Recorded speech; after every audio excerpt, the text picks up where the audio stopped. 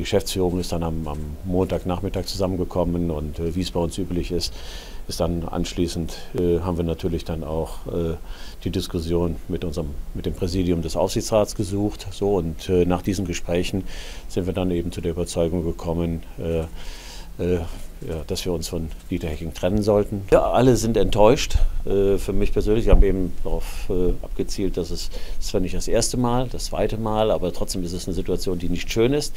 Ähm, wir sind enttäuscht, dass, dass, wir, dass wir in eine solche Situation hineingekommen sind.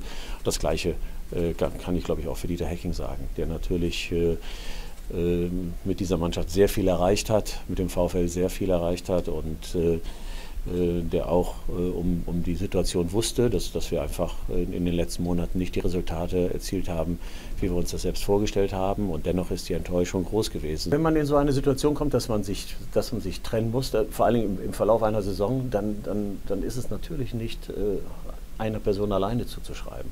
Ich glaube, das, das wissen wir alle, dass, dass der Trainer seinen Anteil hat, dass ich meinen Anteil habe und dass natürlich auch die, die Spieler ihren Anteil haben.